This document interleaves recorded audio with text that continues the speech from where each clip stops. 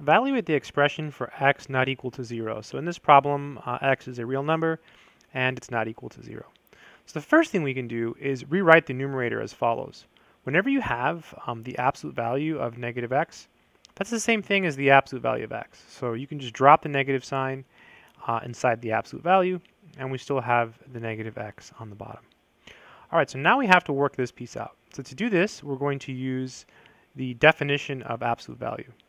So the absolute value of x is equal to x, and this will be true if x is greater than or equal to 0.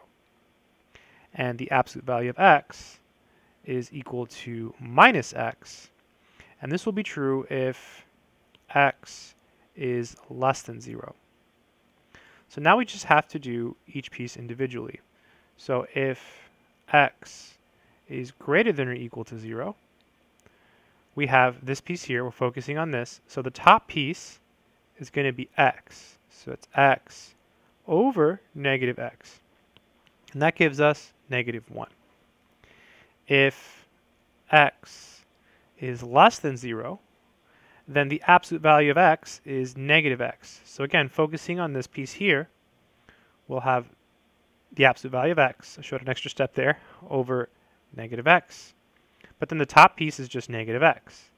So it's negative x over negative x, and so that's equal to 1. So now we can write our final answer as a piecewise function. So it's going to be two pieces. So the first piece will be negative 1.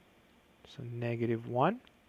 And that will be true if x is greater than or equal to 0. And the bottom piece is 1. And that will be true if x is less than 0.